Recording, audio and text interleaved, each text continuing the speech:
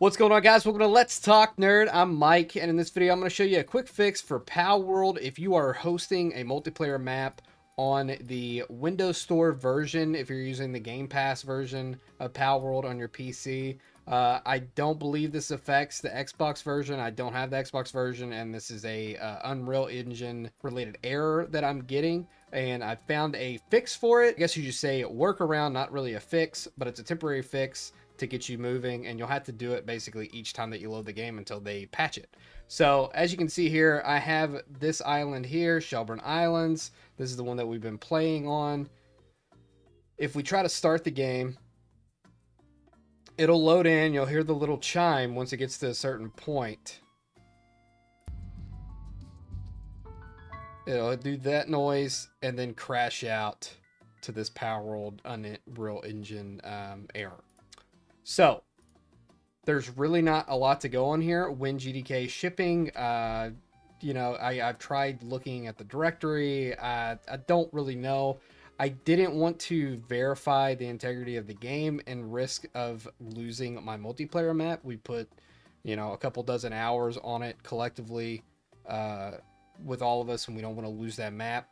Um, so to get around this without doing the repair will load PAL back up. And then what you're going to want to do is start the game, but go to change world settings first, and you're going to make it single player.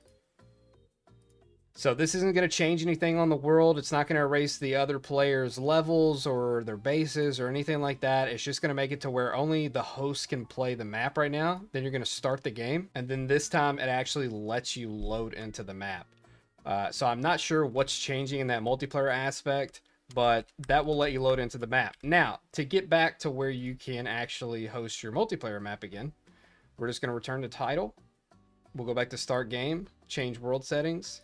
We're going to turn multiplayer back on. Save, confirm, start the game. Bada bing, bada boom. We're back in. So that is the fix that I found. But once you close out of the game, once you exit this again, it's going to do that error again. Um, so I'm hoping they fix this, but this is how you can get back in um, temporarily. And basically, I just let it sit here until we're done gaming for the day, and then I'll close it out and then go through the process again the next day.